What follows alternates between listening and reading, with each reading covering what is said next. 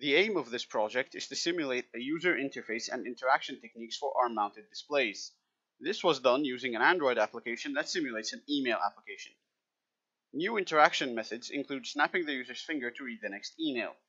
When the user snaps his finger, the application simply switches to the next email on the list.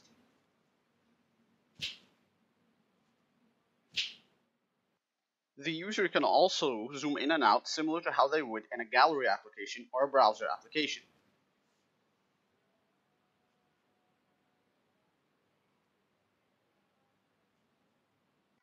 If the user wishes to share the contents of an email with someone else in the room, all they have to do is simply tilt their arm outwards.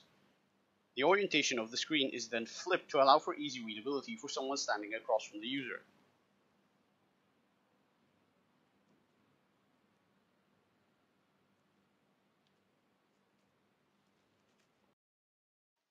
Conversely, if the user wants to keep an email private, they can cover part of the screen with their hand.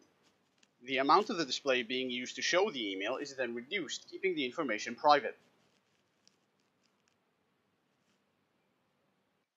To select an attachment to view from a list of attachments, the user can simply swipe left and right. To view an attachment, the user double taps the screen, and if it's a video, can tilt their arm to control the flow of the video. A double tap takes them back to the email. When the user is composing an email, they can use the on-screen touch keyboard. This keyboard takes a quarter circle shape centered around the bottom right hand side of the screen.